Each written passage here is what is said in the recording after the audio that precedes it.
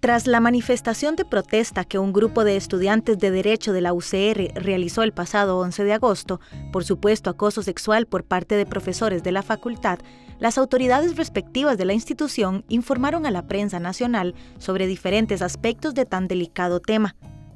Desde los años 80, la Universidad de Costa Rica, unos 10 años antes de que existiera una ley nacional sobre el hostigamiento en el ámbito laboral y en la docencia, eh, venía nuestra universidad ya trabajando en ello.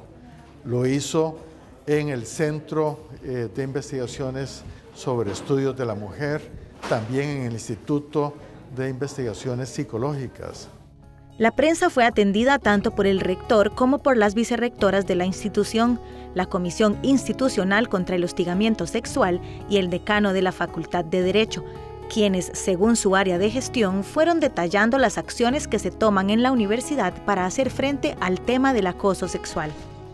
Y queremos transmitirle a la sociedad, como ha sucedido a lo largo de las décadas, que esta es una institución que aspira a no tener hostigamiento sexual ni laboral de ningún tipo.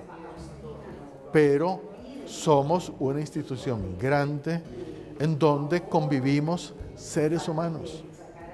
La Universidad de Costa Rica como institución le ofrece a las personas que presentan una denuncia apoyo psicológico, seguimiento de su denuncia desde el punto de vista legal, orientación desde la perspectiva de género y también apoyo grupal.